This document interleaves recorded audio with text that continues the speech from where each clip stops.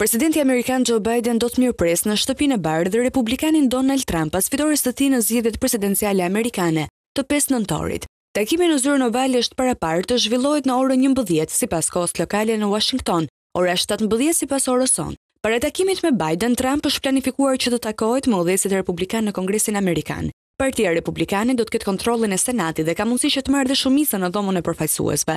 Biden, tetëdhjetë e një vjeçar, e ka thirrur Trump shtatëdhjetë e tetë vjeçar pas zgjedhjeve për ta uruar atë për fitoren dhe e ka ftuar në takim në Shtëpinë e Bardhë. Përderisa demokratët e kanë cilësuar Trumpin si kërcënim për demokracinë, Biden megjithatë është zotuar se do të ketë transferim paqësor të pushtetit dhe do t'iu përmbahet protokolleve të zakonshme për këtë proces.